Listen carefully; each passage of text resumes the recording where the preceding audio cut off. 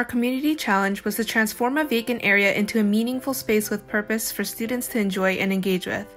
This year, we decided to focus on the second entrance to the school because we felt it could use some extra care.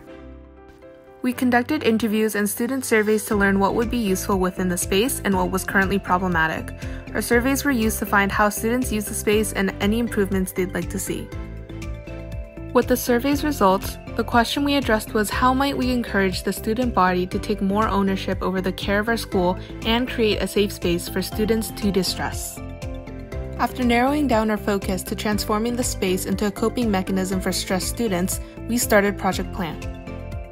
When doing research, we discovered that studies have proved the positive relationship between levels of neighborhood green space and mental health. To name a few benefits, plants help reduce stress, create a feeling of well being, improve air quality, boost our mood, and help us feel more relaxed and calm. In a school environment such as ours, a plant space would provide opportunities for community involvement as teachers and students work together.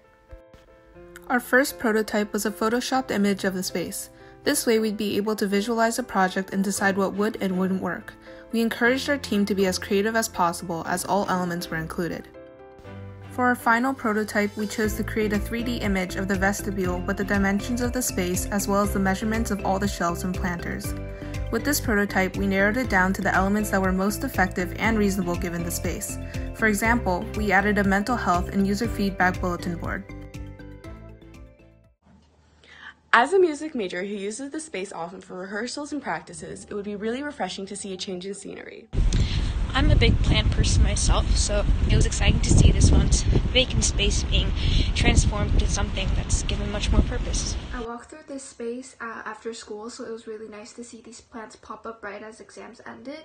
It made me feel relaxed and relieved any remaining stress I had from exams.